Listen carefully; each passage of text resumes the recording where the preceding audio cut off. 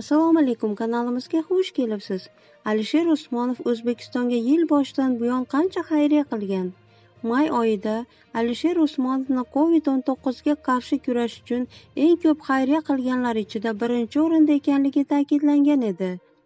Usmonovning o'zbekistonga qilgan xayriyalari 31 mart 20 million dollar mehr shafqat va salomatlik fondiga 23 aprel kuni 5 million dollar covid-19 ga qarshi kurash fondiga.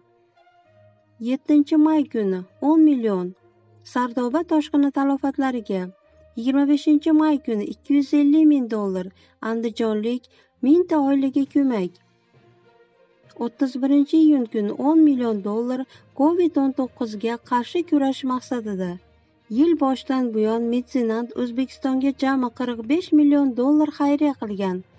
May oyi holatiga ko'ra milliarder koronavirusga qarshi kurash uchun rossiyaga 126 million dollar xayriya qilgan edi. Usmonovning bundan tashqari qozog'iston italiya kabi davlatlarda ham xayriyalar qilgani ma'lum bo'lgan.